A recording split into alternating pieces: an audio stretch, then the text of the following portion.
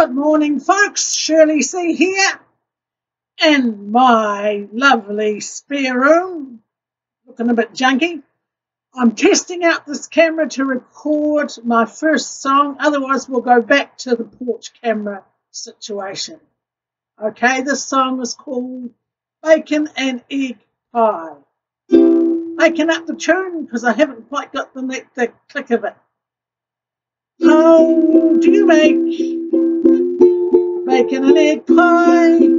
There are so many variations, and each person thinks that their recipe is right, which can lead to baking complications.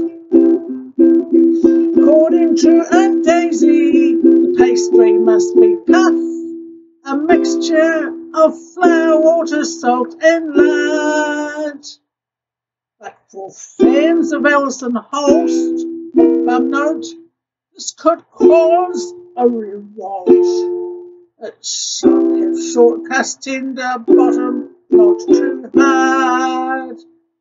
So, how do you make your bacon and egg pie?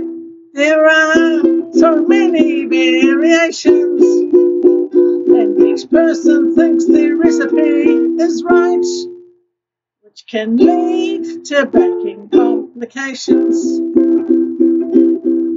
Some add the eggs beaten with a dash of cream, black pepper and a cup of frozen peas. Bacon should be shouldered with a streak of fat not rendered. Serve this up to some folk they would be highly offended. So how do you make your bacon and egg pie? There are so many variations, and each person thinks their recipe is right. Of course it is, which can lead to serious complications. Others break their eggs in whole, in top with streaky bacon.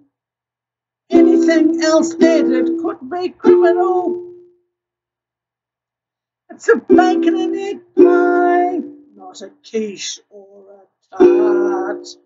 So the use of other ingredients is minimal. Have a